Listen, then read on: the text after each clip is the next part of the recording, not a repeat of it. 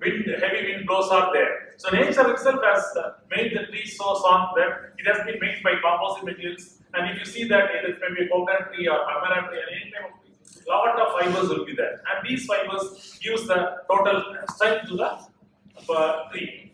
So how many of you have uh, watched that? If you take a stick and if you try to break the stick like this, it's very difficult because it has the, all the fibers oriented in this direction and it gives the maximum strength. So it's very difficult to break them because you have to break all individual uh, cross-section fibers. But once you try to bend it, it's very easy to break the things because the if it is a longitudinal things, these fibers will be there and it's very difficult to break the fibers. But once you try to bend it, these interfaces of the fibers are very weak. So that means there is a delamination. That's why you can see the fibers coming out and there's delamination between the matrix. So normally most of the composite materials in the unidirectional of the tree, the longitudinal direction will have the maximum strength and the transverse direction will have the low, lower uh, strength and lower uh, properties.